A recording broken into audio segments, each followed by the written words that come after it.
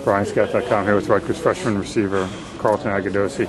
Carlton, you, you sat through a redshirt season last year where you, you know, I know that's frustrating, but what have you got out of this season out you've got on the field, got to play?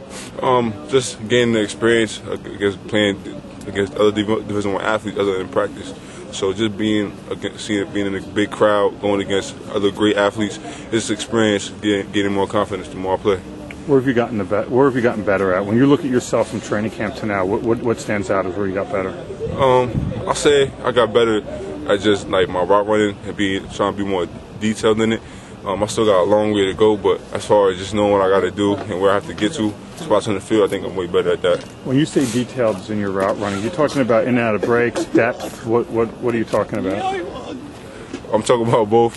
Uh, just like to, to, get to the depth of the route. Um, that's particular in this offense. You have to get to the same spots on the field because the quarterback and you have to be on the same rhythm. So just getting to my spots most, most of the time.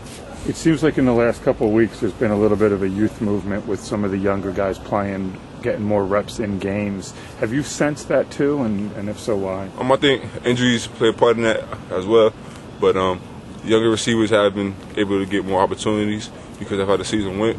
But um, we're, we're trying to make the most of our opportunities and capitalize and get better because we're still freshmen. We're still just trying to learn, you know, and get better for next year. When you look at this game against South Florida, why is it important? It's important because you always want to win. Win is the most important thing. It doesn't matter what our record is. We couldn't. We could lose every game and come out of this game. You have to have the mentality you get to win. It's our last last game, seniors, so we want to get a big win. It's at home, first night game at home. So it's a. Bottom line is it's the season. Like you want to win every game we put our blood, sweat, and tears into this, so winning means a lot to us. When you does getting to a bowl mean anything? I mean, is, oh, that, is that a motivation? Or is that a, a no? That's definitely a motivation. Um, we work so hard from January to now that the bowl game is kind of like a like you know a, a, gift for us working hard. So if we work we work so hard, people can see how much work we actually put in. They understand how much winning means to us and why we want to win this game. Last thing, Carlton, is you know Gary Nova was your quarterback most of the year. Chas Dodd started the last game. He'll start this game. How are they different?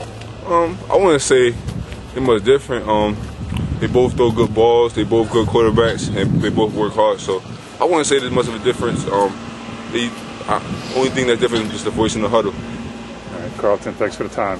No